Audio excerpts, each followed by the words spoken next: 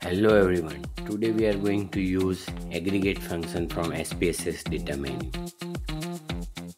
This video demonstrates how to use aggregate function in SPSS. Aggregating data allows a user to calculate means, median, sum, standard deviation, minimum, maximum and other metrics across grouping variable.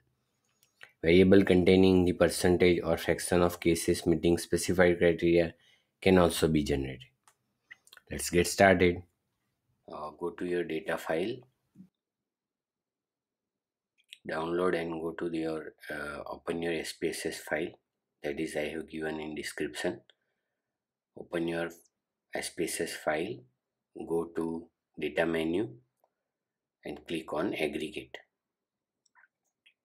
So aggregate is a function which is used uh, when you want to aggregate your data uh, depending upon your grouping variable that may be a gender or maybe a occupation or any other kind of uh, breaking or aggregate variable. And you can aggregate your data your continuous data and you can calculate mean, median, sum, standard deviation, minimum, maximum and other matrices across your grouping or breaking variable. So as a breaking variable you will take a categorical data. You can also calculate percentage or fraction within the specified criteria that we will see later. Okay, so I have opened this aggregate data function you can see here it it is asking us to provide a breaking variable and a which variable we want to summarize or we want to aggregate. So suppose for example we want to aggregate this monthly income. And based upon the gender breaking variable or grouping variable we have taken as a gender. All right so uh, overall if we look at this function you can save uh, the another variable into the same active data set or you can create a new data set. Alright so we have gender me and you can name rename it also. Suppose uh, I want to rename it as agree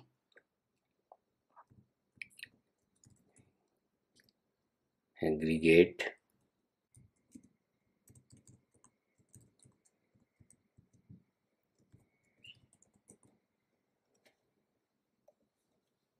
Click OK.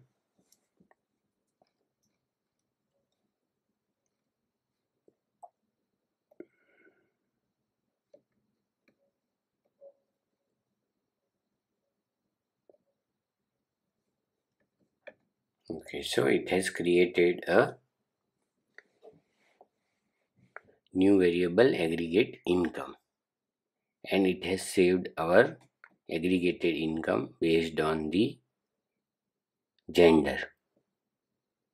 So this is our gender variable and this is our aggregated income based upon the gender. So we have two gender male and female so 7500 and 9500 these two aggregated income it has calculated. Suppose you want to aggregate it adding uh, another variable. You want to further group it you want. So again you can go to aggregate and again I can add for example suppose occupation current occupation click on ok so it will ask me to overwrite or another variable so let us overwrite we have 10,000, 5,000, 9,500, 5,000. So we have basically a three group of aggregated income because we have here three group because the fourth group is unemployed. So that is not applicable for that. So there, so we have three groups of aggregated income. Alright, so again go to aggregate.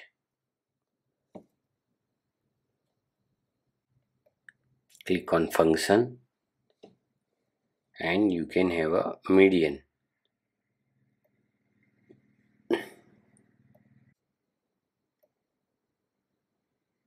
so now it has calculated a median.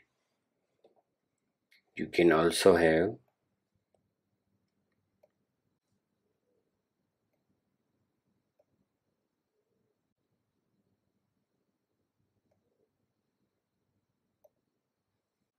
minimum